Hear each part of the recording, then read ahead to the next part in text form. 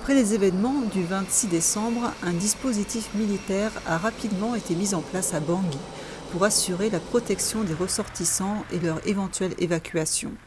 La force a sécurisé deux sites. L'un d'entre eux se situe à l'ambassade de France. Gros dispositif au niveau de l'ambassade. Il y a plusieurs points, au moins 7 ou 8 si on active la totalité.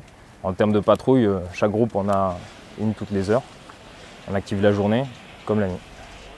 150 militaires du 2e régiment étranger de parachutistes ont été projetés pour être en mesure d'assurer la sécurité des ressortissants français en cas de besoin. Ils ont été suivis par une compagnie du 2e régiment étranger d'infanterie.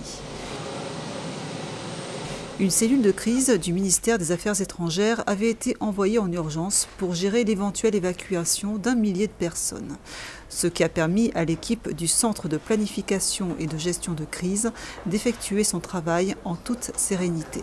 Pour la gendarmerie, ça a permis de se, concentrer sur les missions d'évacuation des ressortissants à proprement parler, et ça a permis surtout d'avoir davantage d'échanges avec les militaires déployés sur ces points, et de manière en particulier à mettre en cohérence leurs plans avec les nôtres. Ça a permis de rassurer tout le monde et de, changer un petit peu, un petit peu, même beaucoup, l'état d'esprit de nos, ressortissants. Ils sont beaucoup plus apaisés. La preuve en est, c'est qu'au centre de crise et au standard, il y a beaucoup moins d'appels. Première journée, il y avait un appel toutes les deux minutes. Euh, le deuxième jour, à partir du moment où les forces sont mises en place, un ou deux appels par matinée. La rapidité d'intervention du contingent français et l'importance du déploiement des moyens a ainsi contribué à apaiser la communauté des ressortissants français.